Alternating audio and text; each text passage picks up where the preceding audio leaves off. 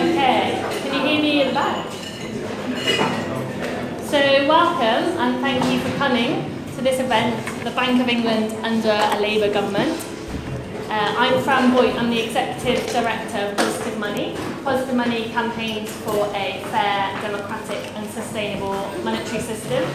Uh, we also research the problems with the current money system and monetary policy and propose alternatives.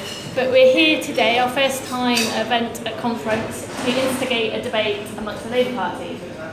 Uh, so I'm going to take the liberty as chair putting out a few thoughts on the current situation of monetary policy, and I'm going to hand over to my amazing panel uh, for their thoughts on a Labour uh, Bank of England under a Labour government, not a Labour government under the Bank of England.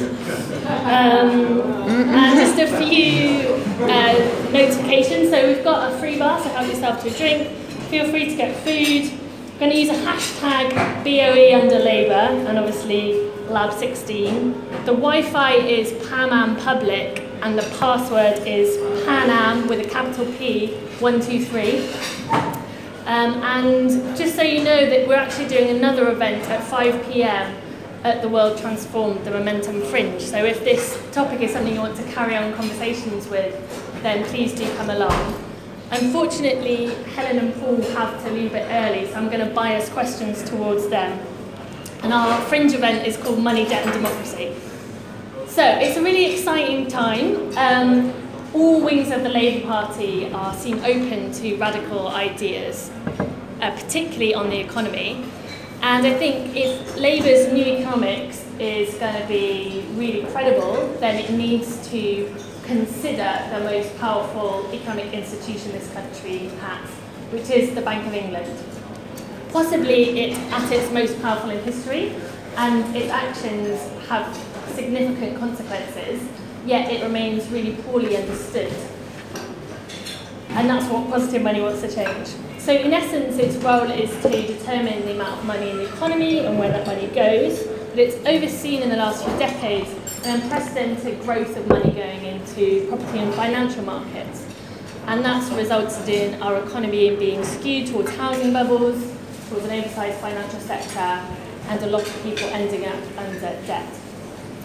So where are we now? Well, after Brexit, with the political and economic, um, economic uncertainty, the Bank of England stepped in in a big way and announced it's going to create 70 billion pounds of new money through a scheme of new scheme of quantitative easing.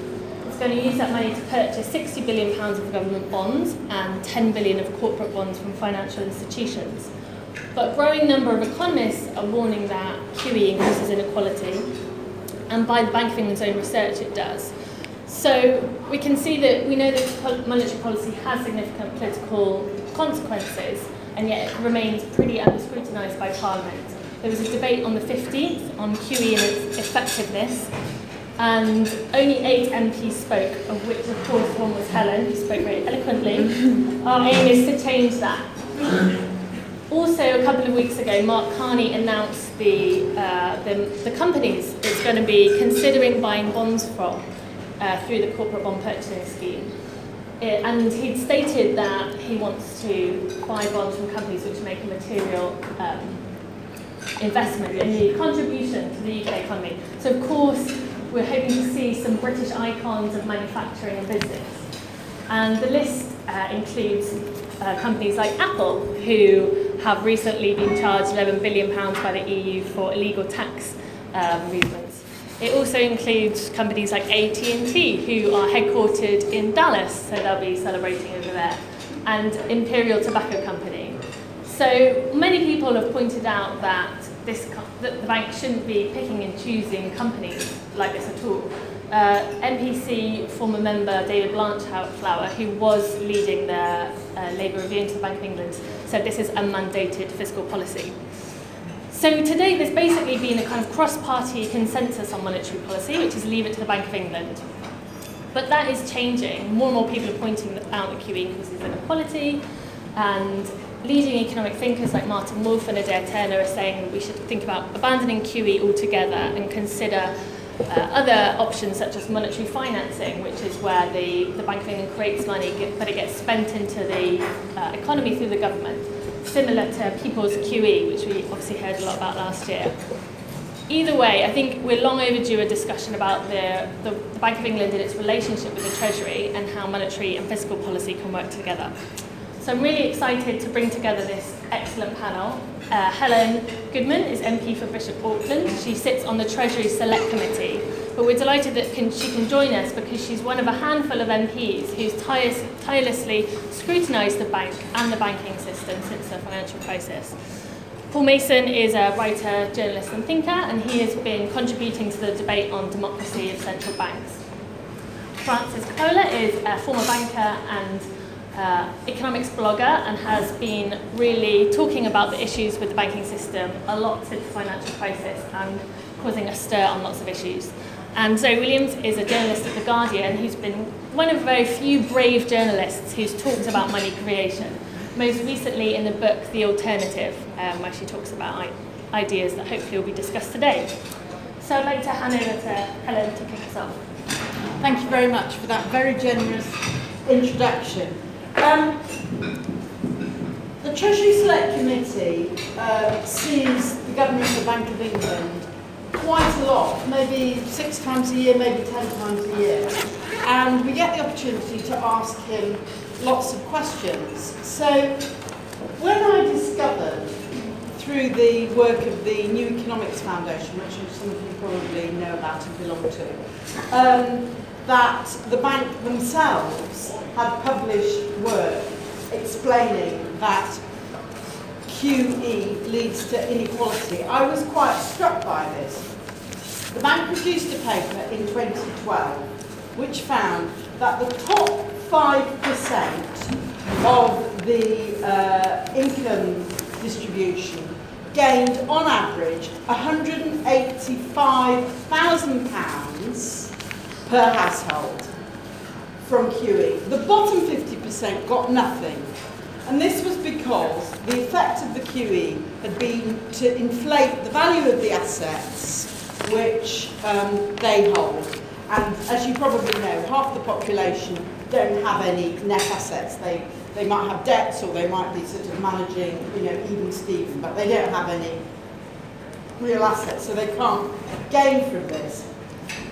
And I thought, well, if the Chancellor of the Exchequer stood up on budget day and said, um, I'm going to give the top 5% another £185,000 each, I think even the Tory backbenchers would have a problem. That would be uh, a very significant redistribution. So I thought we'd better ask the bank about this when they, the next time they came in. So I asked, oh yeah, that's not the governor, phoning to check. uh, so I asked. I nobody's ever called Jeremy Corbyn that. so I asked, uh, I, I asked, um, I asked what they thought they were doing. And they said, he said, and this I thought this was fantastic, he said he thought that to take account of the distribution effects would be political. So it's not political to give the richest people £185,000, but it is political to take this into account. So I thought, well, maybe there's another way of doing QE that wouldn't have quite su such extreme distribution effects. And so I went over to Frankfurt to see the uh, European Central Bank to find out how they do their QE. And they do do it in a different way because they do buy different assets. And the, the oh, bloody hell, I thought I'd switched it off. uh, sorry. Ah. So, um, they said they did do it in a different way. And they did it in a different way in a number of respects. First of all, they had a strand of um, purchases for their QE scheme, which went directly into SME finance, which ours doesn't. Then they said that they bought bonds in infrastructure uh, banks. So we don't really have a successful uh, business investment bank in this country. It's something that John McDonnell said he wanted to do uh, from the main conference hall yesterday, and it's something that we've looked at and discussed previously. and uh, we did uh, persuade the Tories to set up the Green Investment Bank. So, you know, we have made progress on this in the past. Of course, the Tories are now privatising the Green Investment Bank. Uh, so we don't really have the kind of vehicles that they have in Germany, which is where they have where they have an infrastructure bank called KfW, or France, where they have an infrastructure bank called CADES. But that has enabled the ECB in its queuing to concentrate its um, purchases in things where they are actually going to spend the money in the real economy on things which are useful for improving the productive ca capacity of the economy, rather than simply giving house price rises to people in London and the South East, which is what's going on at the moment. The other thing that was very interesting about what the ECB said when I went to talk to them, which is different from the bank, is that they said they were very interested in running the monetary policy in a way that would benefit what they call the periphery. They meant, you know, Southern Europe and so forth. And they said, but you don't really have a periphery.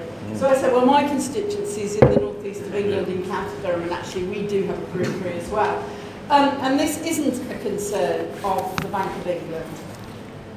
So then we had another exchange, and um, I'm not happy with, with, with their responses this summer either. I just want to be clear.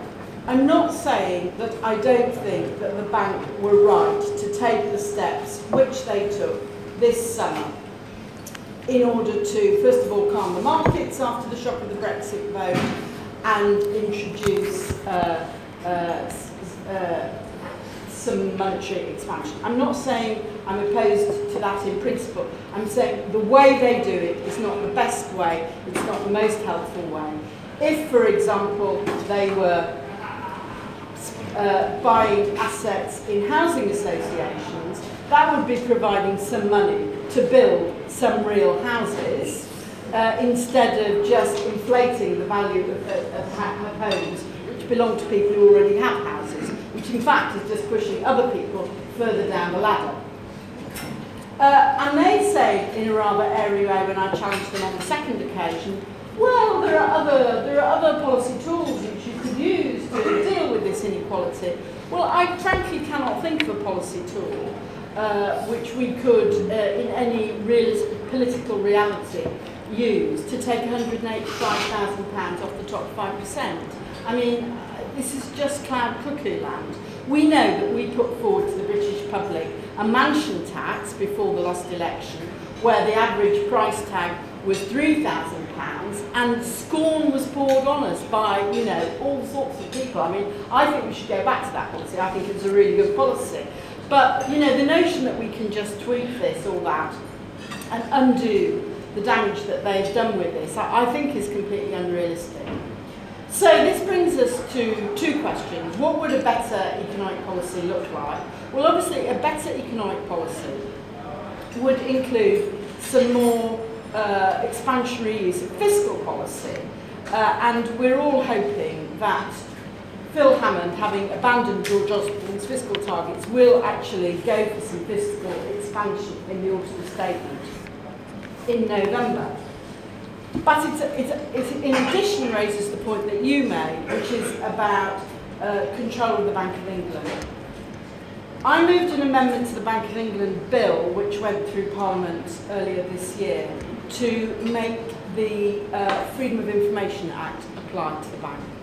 The bank was very resistant to this, the governor was very resistant to this, but actually I think it's completely reasonable for us to make the Bank of England subject to the Freedom of Information Act, which it is not at the moment. That does not mean that we would be uh, engaging in second guessing in uh, their open market operations in the money markets day to day. We can exclude that. But there is a real problem of accountability at the moment.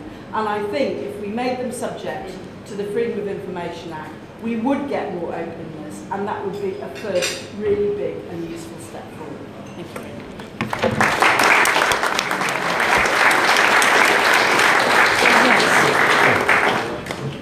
it should, it should reach I'm good. you. Are you good? Well, thanks for inviting me, I know apologies in advance that, that I have to run off halfway through because, like um, everybody, I seem to double booked all my meetings. Um, so uh, I just want to say one other thing as a rider to this. You know, people will know that I am not John McDon- McDonnell's advisor, as alleged by uh, George Osborne. Uh, things didn't go so well after for George after he misinformed the Commons about that. But, um, but I, you know, I do feed in and try to feed into Labour's economic policy. So what I say now is me, it's not them, in the sense of uh, I, I, could, I would quite like it if some of John's team were here to listen to the ideas that are on this platform. Because I uh, do think, if people say to me, what's your economic uh, philosophy, I just describe myself as a monetary Keynesian. And I think that the monetary weapons of a left social democratic government are potentially very important, especially given the situation. Now, I want to start therefore not from principle, and I think one of our one of our discussions here in the Labour conference has to be, especially for those of us on the left, not a constant reiteration of what our principles and theories are, but what we want to do in the next crisis period that, that is that is that is opening up. So I want to start by describing, I'm only looking at my phone because I've, I've got notes on them, um, describing the situation as I see it. I think the danger of a, of a secular stagnation is real. I, I, think, I am not in the school of Robert Gordon that says it's because the technological productivity miracle has run out. Far from it. I believe that, that technology is creating uh, new business models and new uh, economic flows in which there is no value. That, that you know, a credit system is based on returns from investment, based on the growth of the market sector, which then pays back the debt. Um, I think the fundamental problem in the world is that information technology makes a lot of things cheap or free. Um, and that leads me to worry about secular stagnation as a kind of, in, it, rather in the way that Larry Summers worries about it, that, that is, that if we have become over reliant on monetary stimulus to keep the economy going. You know that, that combined, you know, Japan is the, Japan's been through two uh, periods of, of slump and stagnation and is the world leader at QE at the moment, and indeed a, ter- a certain kind of QE that I want to talk about. Um, but we have 12 trillion worth of 12 trillion dollars worth of, of, of QE money flowing through the global economy, and it's produced nine trillion dollars of largely government debt that is negative yielding. And as one bond market participant said to me, I came into my job to run a capitalist economy, not Gosplan. You know, not the Russian planning system, because a nine trillion dollars worth of negative yielding debt is a minus sign on capitalism. So, the danger of stagnation was well realised at the March G20, uh, where Carney spoke, and where, if you want to look it up, uh, Claudio, Claudio Borio, uh, who's the head of, uh, of policy at the Bank for International Settlements, issued an equally uh, stark warning to the one that Carney gave, and that is monetary policy in the way it's been done is clearly running out of road. It's creating negative yields, it's creating disincentives to invest, and at worst, it could create what we all fear from the 1930s. That is, once countries realise that a negative sum game has been created, in which what is good for China is also good, in a positive sum game, what is good for China is good for Liverpool. You know, so you open a port in Liverpool because, and you hope that trade in China um, uh, increases. In a negative sum game, everybody has to grab what growth is left in the economy, and one of the ways of doing it is through currency manipulation. And the surefire way to manipulate your currency is to um, to undermine its value by printing a lot of it. And therefore, what I fear, and what I think was a very clear subtext at the G20, is that what they want to avoid is more is, is more currency uh, warfare. And so do I. And what they said is you've got, you've got one more chance. We can do one more radical piece of monetary policy, but after that, it is over to you, the governments, to do structural reform and fiscal policy. Now, I'm in favour of doing a lot of fiscal policy, but I do think here in the UK we are right to do more and should have done more earlier uh, targeted monetary stimulus. So maybe I'm on a different uh, uh, wing of, of, of the panel than anybody else. Why? Because, because what the G20 uh, and the central banks are saying is that the structural reform has to reignite productivity. I think we have to leave behind neoliberalism. I think we have to leave behind low wage and stagnant wage jobs. But to reignite the productivity, you're going to need to do things to unblock uh, mechanisms for creating human capital and, and capital itself. I would have taken, I would have printed 75, I would have done 75 uh, of QE billion, and I'd, and I've just bought every student loan in the country. Uh, and I would have buried it in a big uh, dump called student loan dump, in, in which there was a 30-year payment re- payment holiday on it, thus removing the line on everybody's paycheck that says student loan repayment. That, in other words, is how you get how you use QE to buy specific assets to get the money straight into the economy. I'm even in favour of doing, if we have to, helicopter money, but it's not particularly effective. But long term, I think that to finish, what, what I would say we need to think about then is to be overt in what we would need to do to be able to take political control of the monetary policy. It's, I think we have to own up that, that good though it was that Ed Balls and, and, and, and Gordon Brown did what they did in 1997, it was the right thing for that economy but then its efficacy ran out, and by the end, I can remember sitting in the Bank of England press conferences thinking, shit, we're all trapped uh, you know, in a binary decision. There's a commodities boom, we should be putting the brakes on, and, and all they can do is put the brakes on in a period of commodity uh, boom bust, uh, and yet we put the brakes on as the bank system collapses, then we have to take them off again. What, that's not economic management, it, it's kind of binary decision making. And therefore, I would just, just say, there's nothing reactionary about saying, if, as Keynes said, if the facts change, just change your mind. You've got, we, we have a much more complex world economy, a danger, a clear and present danger of currency manipulation, a negative sum game, and the problem of needing fiscal and monetary policy to interact. So maybe we don't have to do everything through borrowing, so we don't have to do everything through heavy lifting on a Keynesian fiscal uh, level, and if you can do innovative things like buying the, you know, I, I always say, if you can buy 10 billion of VW uh, bonds, you can buy 60 billion of student loan bonds, or you could buy everybody's mortgage. This is what, effectively what the Fed did in, in 2009-10. So think about that as, an, as, as a philosophy, you know, not rocket science and also not too, uh, not too heretical because we build on Blair, on Brown balls rather than scrap it.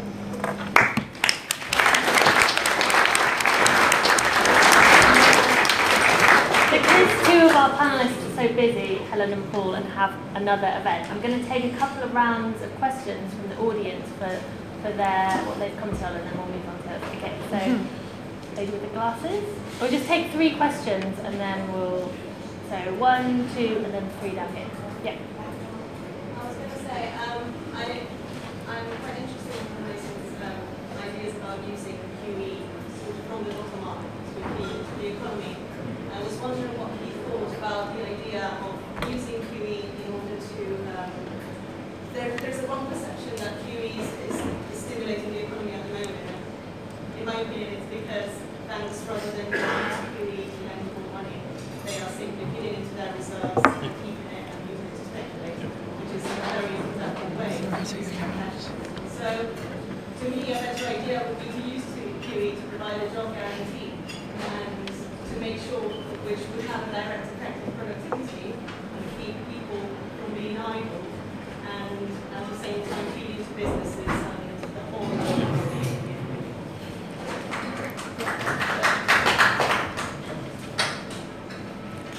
Do we need a microphone? Can everyone hear? Yeah. Okay. Yeah. Go for it. Yeah. Uh, you said helicopter money is no good. In what sense is it no good when it actually increases the effective demand? Thank you. Great. Very nice and short, concise question. Yeah, um, I'm a chemical engineer by training. Um, I was um, influenced by Thomas Greco. Hey, there's a microphone. Okay. Uh, let's go for it. My name is Nigel Martin. I'm a chemical engineer by training. Um, I'm interested in the work of Thomas Greco, who is also a chemical engineer by training. His, one of the, his points is that the, the quantitative easing created today to supply the interest, you're doomed to create more money tomorrow to pay for the interest created today. You're chasing your tail. Does the panel have a view on, on, on that statement? Thank you. Okay, so we'll just take brief comments from all the panelists on those three. So QE from bottom up, helicopter money no good if it, even if it boosts demand, and the interest question. Well, We've spoken, so why don't you? No, Paul can go first. He can do I the mean- heavy lifting. Well, because because I am going to go in a minute. I will. I'm sorry because I, I want to wait to hear what you're saying, Frances. But I'm, and you, Joe. But I'll uh, you. you do. We know each other. Uh, all right. So uh, I only want to focus on, on on the helicopter money thing because I think your question is an interesting one, and your one. I think basically I agree with you, and we've just got to we've got to design. Once you free yourself from the binary decision making, because you know the bank has to justify the binary decision making simply on what will the, uh, the what's the likelihood of hitting two percent interest in three years' time. Uh, it's like being a goalie and saying if I kick rather than roll the ball out of my hand, what is the likelihood of my team scoring? Uh, you know, once they've kicked it, they don't then they, they wouldn't have to care what the team did with the money. So all we're looking for is ways of, of having microeconomic effect, which brings me to the thing about about helicopter money. If we have to do it, let's do it in, in a crisis. But remember, what it does is it's not microeconomically changing anything. It simply says that if you've got 10 grand and you've got, uh, if, you, if you've got a job in a, a, a low wage job where you know, you're earning 12 grand and you get 10 grand put into your account, you, you, you're, you're all right for a year. Um, but if we did it via things like student loans, through mortgages, through company loans, through infrastructure loans, in other words, if we bu- kick down the walls between fiscal and monetary policy, which is what it does anyway, then you can microeconomically target it for the effect which we want, which is what the B- BIS and G20 are calling out for, which is structural reform of the actual economy. Um, do I want to go? Yeah, do you I want to comment gonna on go? any, comment on I any of those wanna- And, and can I, I apologise because comment on my, anything my, my so taxi's no. outside and, and, Yeah, and, yeah, and yeah, no. uh, total apologies for being fly by that. Okay, in response to three questions. Should we have a money finance job guarantee? Um, we actually have a higher proportion of the um, people in the economy working at the moment than ever before. So I'm not at all sure what that would achieve. It seems to be the big problem we have is that an awful lot of those wages, uh, of those jobs are very low wage. Um, and- It's just a microphone we It's need to read. Well, I would be, I'm nearest the microphone sitting down than I am standing up. So I'm not sure it would help. I'll just try and shout, okay? Will that do? Yes. Right, money finance job guarantee. We have a high proportion of the working age population working at the moment than ever before. I'm not at all sure what a money finance job guarantee would achieve.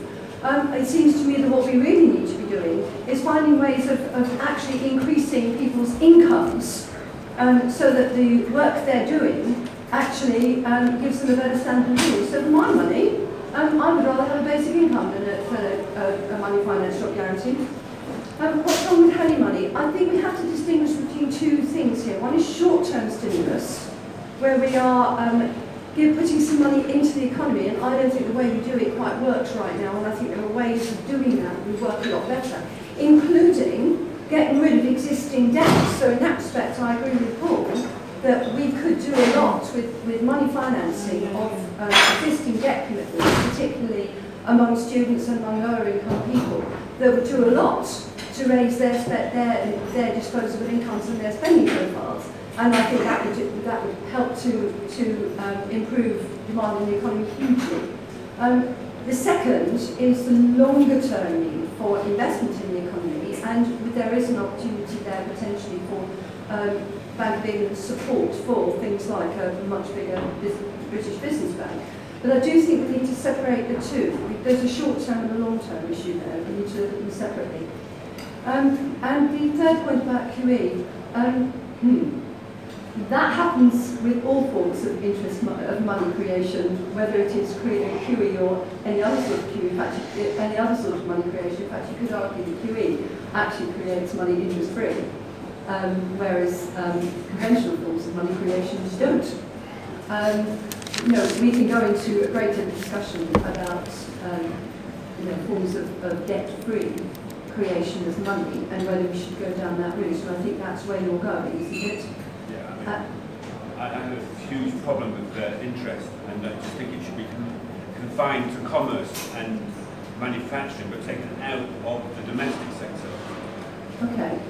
Um, no, we can have a debate about the role of interest in the economy and, and whether it is reasonable for households that borrow to do so at zero interest, um, regardless of their level of risk. I think you know we might have some issues around that. But yeah, yeah, okay.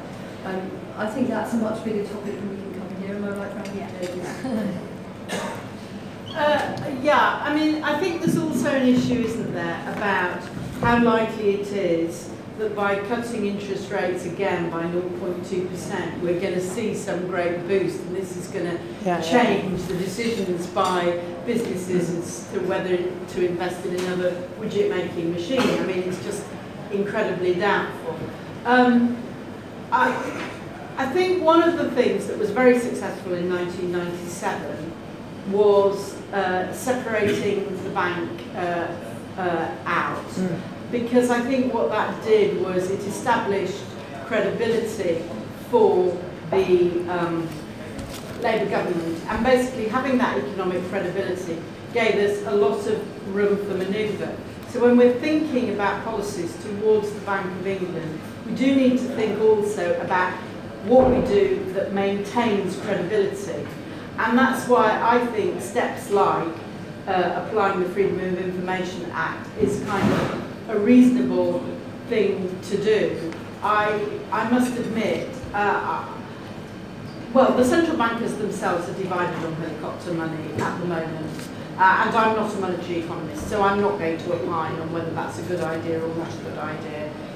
I mean, it probably is in some circumstances and not in others, but I don't know enough to, to comment on that. Which in a way kind of makes the point, because what you have central bankers for is to make useful technical judgments, and it's our job to give them the right remit. Do we think having 2% inflation target is the right remit or not?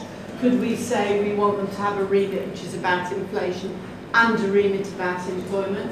That seems to me to be a reasonable thing for a government to do. I'm not saying that there can't be anybody in the government who's better at monetary economics than me, obviously there can be. But um, I just, I just want to just give a slight sort of uh, put up a flag and say we do need to be careful about the uh, signals we give on credibility. That is important because if we suggest things which people who are extremely well informed about this say won't work, then we lose credibility and we undermine ourselves for the investments that we really do want to make. And I need to go to another meeting. One more round? Okay, one Okay, more we're going to take a few more questions as Helen's got to go. Uh, okay, so purple jumper, and then glasses, and then.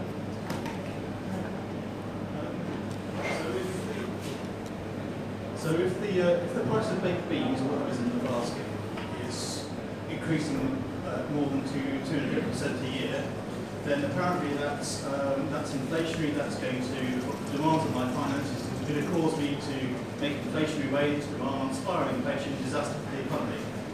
If um, house prices are going up by 10 or 15% a year, rents are being increased at 8 or 9% of inflation, that doesn't even feature. That doesn't even feature in, in that doesn't even feature in the Bank England's remit. Care to discuss that? That's a very good point. I'll borrow that question next time they come up in front of us. Yeah, yeah. Just maybe a, a question straight for Helen, but also a supportive one. Um, great for the work you're doing in trying to um, hold Bank of England to account. Um, it does seem like you yourself are sort of somewhat conflicted between the, the, the, your desire to look through um, the statements that the Bank of England makes, um, but yet to respect their credibility and independence. You say that you think that they're best placed to make technical observations, but you've probably seen from the work you've done that, there is a big ideological, contextual backdrop um, to um, a lot of the work that they do and the whole question of monetarism versus other forms. People as credible as Adair Turner have, have made alternative recommendations. Um, obviously, he was not made Bank of England governor at the time, which was possible. And I would just sort of gently challenge that one should not be in awe of these um, people. Um, and, and I just hope that you don't think that somehow um, it's easy when someone is independent um, to make one feel that there is somehow some superior threat going on. Uh, well, that's a very, uh, a very fair. And I agree with you. In fact, if one looks back over the last six months, the bank has come under far more attack from the radical right than from us. Yeah. The radical right have been highly critical of Carney's interventions on climate change and green stuff, where he's saying, for example, that the oil companies are stashing up on their balance sheets reserves of oil and gas, which they will never be able to extract if we're going to meet our climate change objectives. He's been very clear on that and on saying, you know, we need to better accounting system. And the, uh, the, the Tories were just ballistic when he said that Brexit was going to be a shock to the economy. Um, so uh, I feel that the line we should take is kind of more probing, uh, less full frontal, and using other, as you as you did in your question, you know, well, Adair Turner says, blah blah blah. Uh, I, I think that's better than saying, you know, we don't at all uh, agree with with your whole, whole approach. And, and as I said before, if their approach is is fundamentally wrong, that's because we've given them the wrong terms of reference. Mm. Thank you. There's one more question at the back. And then I'll stand up because actually um, not working, don't think. Is it working? I've got a loud voice anyway.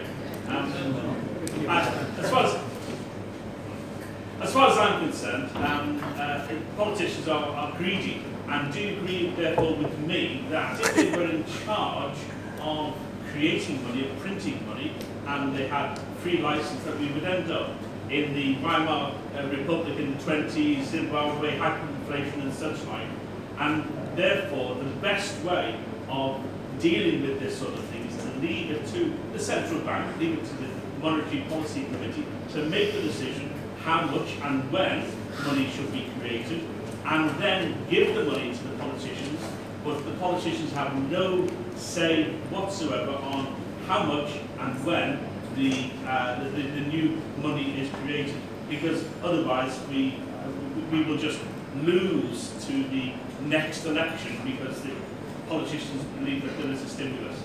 Uh, okay, well, I mean, that was obviously very much the thinking uh, after the hyperinflation of the 70s and 80s, and very much the thinking that informed the new institutional arrangements were, which were introduced by the Labour government in 1997.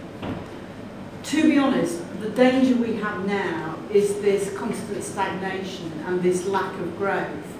So there is always that risk, of course there is always that risk. But just now in the world economy, I think the bigger risk is not being able to get growth going and therefore people are looking more at instruments for kick-starting growth. Okay, we're going to need to bring in Zoe and Frances now, right? So, um, do you want to? Okay, I mean, feel yeah, free to no. respond to any of those questions, but also. I'm going to respond sort of to that last question about the Weimar Republic anyway, because I, I talk about, I seem to spend a surprising amount of time talking about the Weimar Republic. Um, Don't we all? um, yeah, don't we all? Um, in the spirit of openness, I should say I'm not an economist, as Twitter keeps pointing out. I've never taken any kind of economic qualification. Um, but what surprised me becoming involved at any level in the conversation is the low, is the very, very poor level of understanding, which kind of iterates itself in a real aggression. so if you say anything at all, you get absolutely heaped with scorn um, by people who themselves don't really understand what they're being scornful of. And you get a huge amount of, you know, there's no magic money tree. And when you say, well, how do you think money is created if not out of thin air?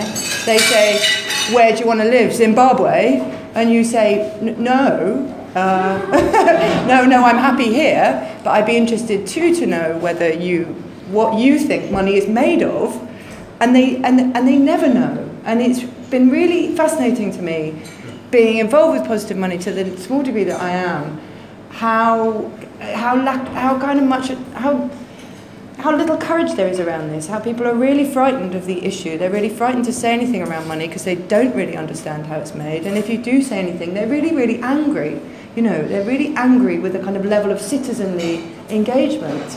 as though the audacity of a citizen in having a view on how money is created is, is you know, completely beyond the pale. Um, and that's what I really noticed at a Positive Money event a couple of years ago. There were these two guys who had a Positive Money group in Greenwich, and I, I got talking to them because they had it at the same pub that my uncle has his basketball group, and they were about the same age as my uncle, and him playing basketball was completely preposterous. And I thought they, them taking interest in, in money creation was completely preposterous. You know, it's like, for God's sake, you guys, you're 67, you're not economists, what are you going to do about it? But actually, the, the point was that if you don't take, if you don't engage with it, then it, it rules you. Um, and there, there is no kind of, if you can't engage on, a, on the, at the level of the citizen with how your money is created, then you are very much governed by a small technocratic group. And I think that I think in Helen's point that you know these technical judgments have to be made by the Bank of England is not quite it actually because a lot of the points aren't technical points they are political points dressed up as technical points and we leave them to experts at our own expense um, the the kind of low, you know, keeping public understanding low and policing the parameters of debate so that only economists are allowed into it is a political act. And the Bank of England has to take that seriously because, you know, if we accept money as a democratic resource, then we have to have a kind of democratic say in its creation. To say politicians are greedy, therefore nobody should be allowed anywhere near money, is like saying politicians are greedy, therefore they shouldn't be allowed to decide anything. Now, that might be true. They might be greedy and they might be ill equipped to decide anything. But if they're not going to decide it, we can't say, well, let Mark Carney decide. You know, we can't say, let Mark Carney decide what the NHS budget should be because politicians are too concerned with the political cycle. You've got to come up with a better solution than, than, you know, blaming politicians for personal faults, which I'm sure are myriad. Um, the, once you kind of accept that money is a, is a democratic resource, then you accept that the creation of debt is a democratic resource, or maybe you accept that first and then you accept the money second. Whichever way you kind of make this argument pu- publicly, if you have a kind of democratic agency over money, then you need to be able to you need to be able to kind of understand that. You need to be able to make the case for it. And I think actually that's the best place to start for the Bank of England. I suppose I'm kind of working up to the point that I think a kind of really key kind of remit for the Bank of England, which they're not taking seriously at the moment, is for everybody to understand money as a social resource that we all have a stake in, and everybody to understand how it's made, and everybody to understand who decides how it's made, and everybody to feel as though they have a say in that going forward. So I don't think, I mean, I know Andy Haldane does take that very seriously actually, but I don't think Mark Carney does. I think that, you know, that it's, it's his point about distributional effects being a political act and his stuff being an apolitical act is really telling. His, everything he does is a political act. But the, the politics he agrees with aren't, aren't, politics, and the politics he disagrees with are suddenly political. Um, I think if you were to say, if you were to kind of flip it around and stop trying to engage people at a technical level, of, because there is so much shame around understanding or not understanding, if you were to flip it around and, and describe debt creation as a democratic act simply because it is a hold on the future and the future, without wishing to sound like a Nazi and go back to the Weimar Republic, does belong to us. You know, tomorrow, you can explain to people quite easily that tomorrow belongs to all of us in an, in an equal way. Um, then you kind of get to debt creation being a being a democratic resource, and then you get to money as a democratic resource. I think if you come at it from the other end, from the kind of Felix Martin end of like the, the kind of the reality of what money is, people switch off. If you come at it from the debt end, then people do understand that it's something that we all need to decide together. And you know, if a, that should be the very core of their remit is for everybody to understand that, and they can't model that without kind of showing some humility to what voters want.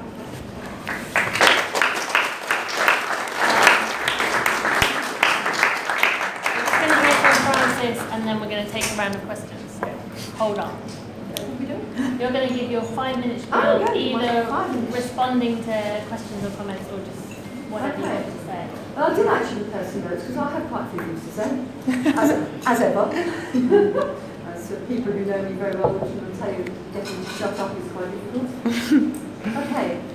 I want to talk quite a bit about um, what we might call mixed messages, because it seems to me that what's happened in the last six years or so is that we've seen the Treasury and Bank of England pulling in the opposite directions a lot the time. So we've had a Treasury that is hell-bent upon cutting back, getting the deficit under control, and a lot of those cuts have fallen at the bottom end of the income distribution and are continuing to do so. There are cuts planned that will drive down incomes at the bottom end of the income distribution even more.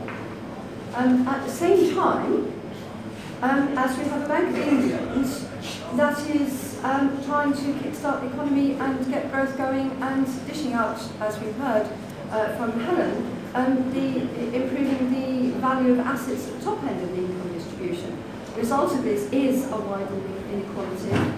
Um, whether it's been effective, effective in stimulating the economy, I have serious doubts. And the reason for that is that I actually think that when you've got, on the one hand, part of your government cutting back, consolidating, and encouraging all of us to cut back and save like crazy, at the same time as we've got the another arm of government, which is what the Bank of England is, um, depressing interest rates to make it actually very much less beneficial to save in the hopes of encouraging everybody to spend, strikes me as a fundamentally mixed message.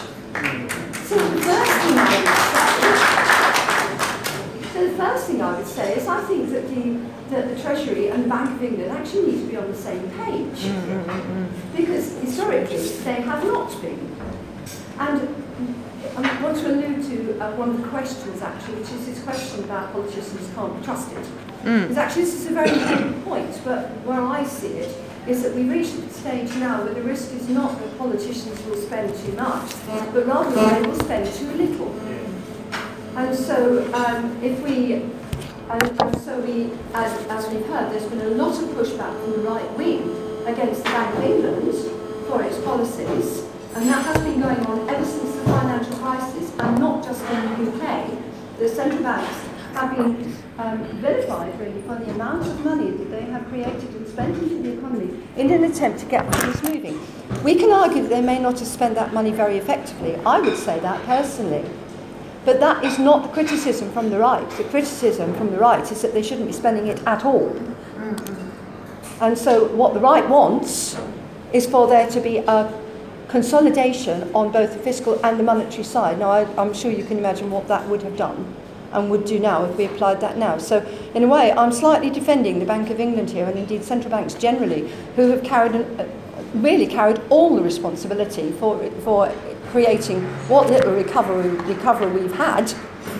And it's about time that the fiscal authorities recognise that this deficit mania, oh my goodness, we've got to get the debt back under control when they've got the lowest interest rates in history, does not make any sort of sense. So, first of all, let's get the Bank of England, which is adopting a generally expansionary attitude, and the Treasury on the same page. Um, so, um, the second, the second part of that is actually within the Bank of England itself, and again, this is again pushed by the Treasury, and we, again, we have more mixed messages here. That there are two parts of the Bank of England. Um, there is the monetary policy side, and there's also the macroprudential side. The monetary policy side is trying to kickstart growth, improve it, um, get inflation up a little bit to try and get some energy into the economy. That's what it's all about. At the same time, as the macroprudential side is clamping down like crazy on banks um, and imposing um, rules on them that make it more difficult for them to lend to small businesses and to lower income households. Macroprudential policies, as they have been enacted so far, benefit those who don't need to borrow. They do not benefit those who do. Um, and again, I feel that the Bank of England itself is not fully on the, uh, not fully in, coherent on this. We need to make a decision about what is more important. Of course, we want save the financial system. Of course, we don't want banks to be lent, taking ridiculous risks. But it's worth remembering that part of the financial crisis, the risks they were taking, they thought were safe. In my book, properly managed um, uh, lending to um, small businesses and to households that is properly managed is considerably safer than stocking up on safe assets that then blow up in your face. Um, so it seems to me that we need to have a general rethink of the responsibilities of the Treasury and the Bank of England, and indeed the two parts of the Bank of England, to ensure that we have a coherent policy, an economic policy, that addresses all parts of the economy equally and doesn't end up fighting um, each other and ending up with nothing a stagnant economy and stagnant wages and businesses that won't invest and can't grow um, simply because we have not pulled the different parts together and said how on, exactly do we want this to work. Thank you. Okay, we're going to take a round of questions now. Uh, one here, I'd love to see a hand from a woman if there is. I mean, I know this is, we've managed to get a pretty good, mostly female panel, so some questions from women would be great too. Okay, we'll take uh, the grey waistcoat and then, okay, guy, just aren't many sorry, here, here with the grey jacket and then over there. Hi, my name, my name is I Jim know. Berthew. Um, I'm taking your mixed message uh, situation serious. Uh, it was a good idea to make the Bank England independent because it made the Labour Party look good and let, this, and, and let people trust them. However, by doing that, you just lost control of the Bank of England. So the sovereign money that we that was always created by the sovereign is now created by the Bank of England. So he's the king without a crown. That's interesting. It's done without um, without scrutiny, without too much scrutiny. You can't uh, Freedom of Information Act, etc. And they don't particularly put the money where the politicians would like it put. Well, if you can't trust the politicians, change them. Don't give the job away to somebody who you've got no control of. That sounds to me like stupidity. So, should we take the Bank of England back? Should we get our, our, our, our fiscal and, and uh, monetary policies determined by groups who are closer to the population? I think that was called democracy, but I may be wrong. Uh, why do we give it away and should we get it back? Thank Basically. you. Great. Down here. Thank you very much. Um, my, my name is uh, Leo, Leo Schultz. I, I would say if, if you wanted to come up with a plan that was going to create inequality as rapidly and as aggressively as possibly could be created, then the plan you would come up with would be a QE on one side and Yeah, austerity yeah. on the other side. That's essentially what that's exactly what I'm That- saying. That would, that would be, Exactly what I'm um, saying. That would be your, that would be your plan. Um, I think the whole thing, you have to remember, as I think um, Ms. Uh, Ms. Coppola was um, suggested, uh, monetary Good. policy and fiscal policy, uh, excuse the pun, are two sides of the same coin. They have to work. To, they have to work together. We talked a lot about monetary policy and very little here about fiscal policy. But really, what we should be developing is an economic policy that takes both monetary and fiscal policy uh, together. What we probably should be doing, instead of fiddling around at the edges with monetary policy, whether we were to um, buy student loans instead of corporate bonds, or to loan to SMEs instead of buying, um, instead of buying gilts, we probably should reverse the whole policy altogether. Have a tighter monetary policy and a much looser fiscal policy. Okay. And you don't need to create the money in order to have a looser fiscal policy, and you don't need to borrow it either. The money is there. The money is there in very great quantities. And I'm going to tell you exactly where it is. Exactly where it is. The money is sitting in untaxed corporate profits in offshore bank accounts. Can I just give you two, two very quick numbers, two very quick numbers. The Financial Times, and I'll give you an exact reference to anybody who wants it, the Financial Times, according to the Financial Times, 200 billion pounds worth of untaxed corporate profits goes out of the UK every year. That's 40 billion pounds at a nominal, at a nominal, at a nominal um, rate of taxation. 40 billion relative to the mansion tax, which was going to create 1 billion. The other thing that I'll give you from the Wall Street Journal, and again, I'm very happy to give you an exact reference if you want it. According to the Wall Street Journal, um, companies active in the US are currently in possession of a trillion dollars of untaxed corporate, corporate profits sitting in offshore bank accounts. Thank you very much. And then we'll over here.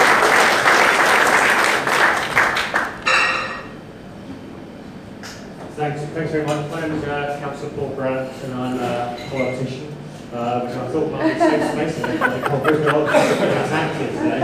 Um, I, I want to make a couple of points if I could. What, what, I think it's phenomenally important for the Bank of England to realise how unpopular QE had set up, I think wrongly, but the phrase, we bailed out the bankers, has put the resonance right the way across, well beyond the left, I should say, and, and it will potentially contaminate some of your capacity to carry out your functions in the future if you don't have underlying public support for it.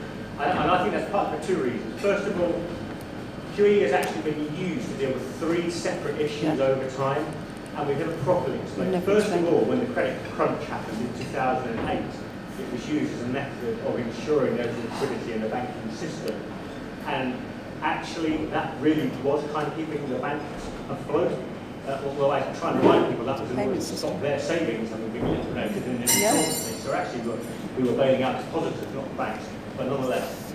Then it shifted towards inflating um, demand, aggregate demand, and I have to say, for the best of reasons, I can see why it was going the way it was, but it was spectacularly unsuccessful because the corporate bonds that were bought didn't generate increased productivity because they were worried about aggregate demand in the economy. And they weren't going to produce and invest, they didn't think there was a demand for it out there. And then gradually now we've got to the point where you're looking at your inflation target, so it probably is back to increasing aggregate demand. Which then comes back to the point about, is the mechanisms being used for QE the right way to increase aggregate demand? Because if you're just going to inflate um, balance sheets, but not give them the reason to, to produce and therefore to employ more people and therefore push up wages and aggregate productivity in the economy, you're not you're going to end up just having the same asset bubble, in the corporate sector or the corporate bond sector, that we experience, and you'll continue to lose overall support. So although it seems counterintuitive, because I like to regard myself sort of on the sensible wing of the party, the whole idea of helicopter money does actually feel like it is the least or the most egalitarian way of trying to increase demand. Now, I suspect there are political reasons one can't do that, but it's almost unsellable. But could I ask you and your policy wonks to think up a way of trying to increase aggregate demand that has precisely a, a, a, a, positive redistribution effect rather than a negative redistribution effect? Because if you don't, you'll find that your the public will no longer continue to support what you're doing, and even if, the Labour government comes in in the future, we will be unable to support a continuation of the policy of QE, even if necessary at the time. Thank you. Okay. So, three big questions. Basically, should the Bank of England no longer be independent?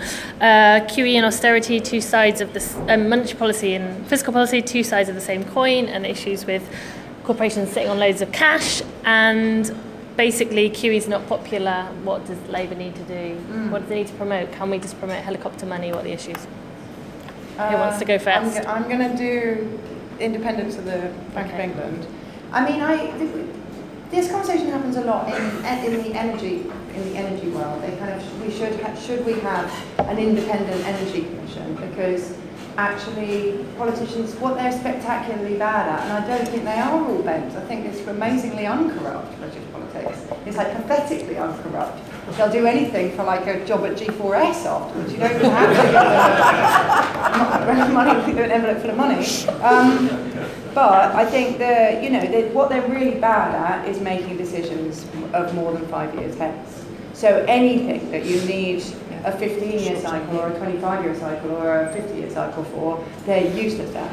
And, that, and, and that's why, and sometimes it does sound like a really good idea to have an independent energy commission that, that operates like the Bank of England, only for energy, and thinks if we want if we want to be 100% renewable in 50 years, what do we need to do this year to get there? Um, and that I, I, I do have my doubts about whether any politician of any political party will be able to make those decisions.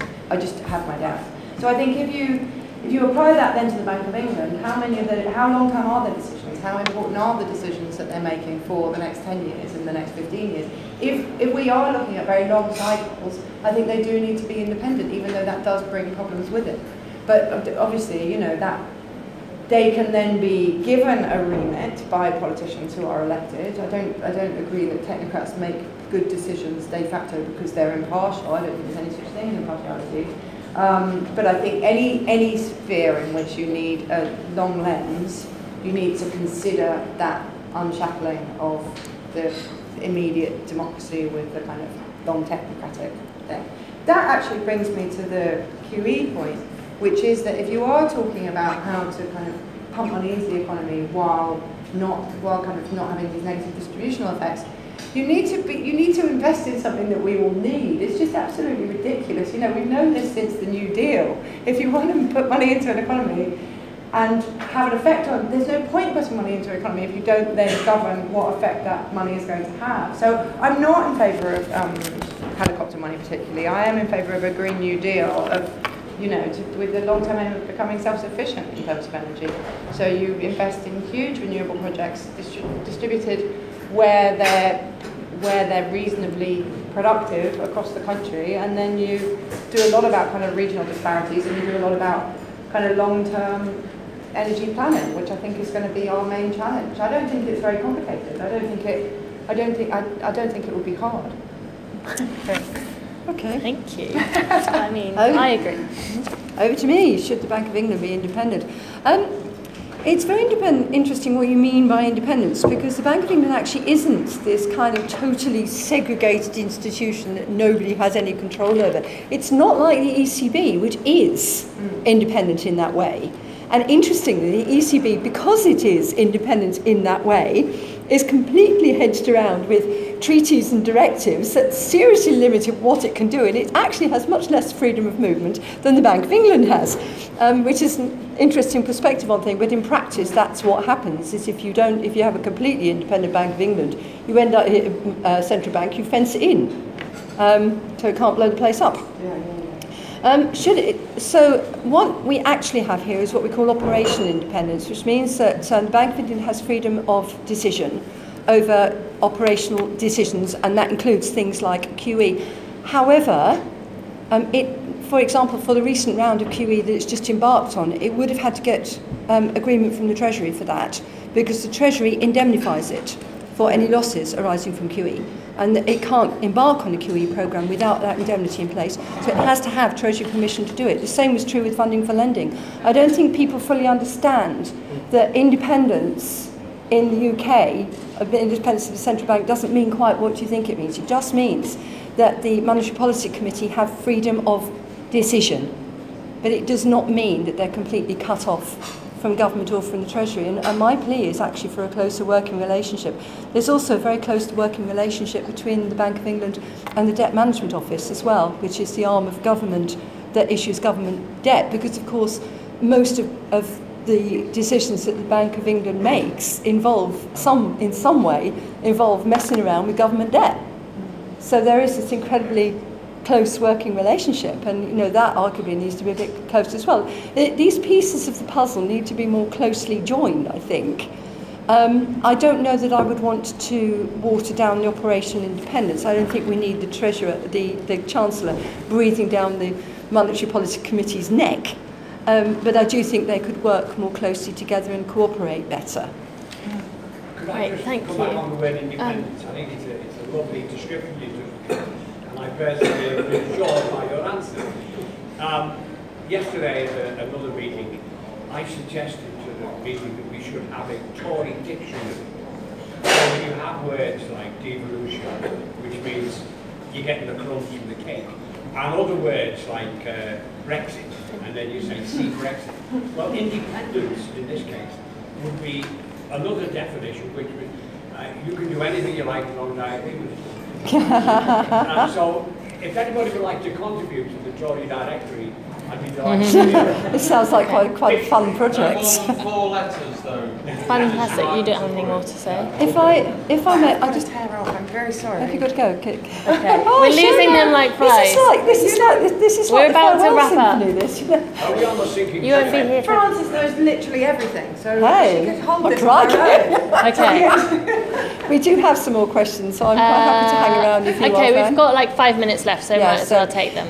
If I can pick up a couple more, before we come on, I know there's some questions out there, but if I can just pick up a couple more points that people made. About this, this Thank question you. of, of, of tighter monetary and looser fiscal policy is a very interesting one and one that's being discussed actually about whether we've actually got this hugely wrong because the way we've tried to go about things so far is to use loose monetary policy to offset tight fiscal policy. Um, and my take on it is that it doesn't work. I'm also of the opinion that tight monetary and loose fiscal policy doesn't work either, for exactly the same reason. They have to complement each other. And that means that if you're going to do loose, you do loose, and if you're going to be tight, you do tight, and you justify, and the Treasury and the, and the um, Central Bank work together, not against each other. Um, Is it all right if we wrap wrap up up? there? Because I feel like there's actually like plenty of food and people can hang around and Absolutely, just we can have a continue discussion over yeah. food and drink. Because I feel like, you know, this is possibly the first time in a while we've actually brought a conversation on monetary policy into the into the Labour Party. And I heard somebody say that they feel like it is a bit of a blind spot to have like a really open and um, an uninterrupted discussion on monetary policy and what we think about the Bank of England. And Positive Money is really here to foster this debate. We don't say we've got all the answers. There's a lot of new ideas, quite radical ones, coming out around what we should do with monetary policy, what we should do with the Bank of England. And clearly there's a lot of intelligence and interest in this. Just the people in the room, you obviously know a lot. Um, so we've had a really exciting discussion. We've heard from Helen Goodman about QE's effect on inequality and how important credibility is for Labour Party monetary policy. Paul was quite outspoken in he feels like actually the Labour Party should be talking about a targeted monetary stimulus. He talked about a student loan dump. Uh, Zoe talked about how we need to accept money as a democratic resource and it's a social resource and then have a really open and inclusive conversation. And Frances oh, pointed out very clearly how the bank and Treasury are pulling in opposite directions and have been for a long time, but we need to change that if we're ever going to have a chance of having a macroeconomic policy that works. Um, so I just want to finish by saying thank you for coming and thanking our panellists, most of which have gone. Um, myself and Frances and other very interested people are going to be here until 2 p.m. I can see there's still loads of cake left. So. I'd really invite you to join us to continue uh, the discussion. So if you just want to thank yourselves and the panellists, and thanks for coming.